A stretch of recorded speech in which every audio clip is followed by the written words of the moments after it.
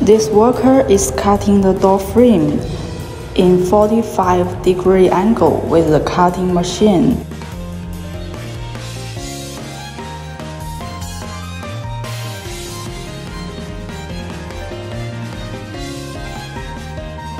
After cut, the worker labels each frame and checks their size.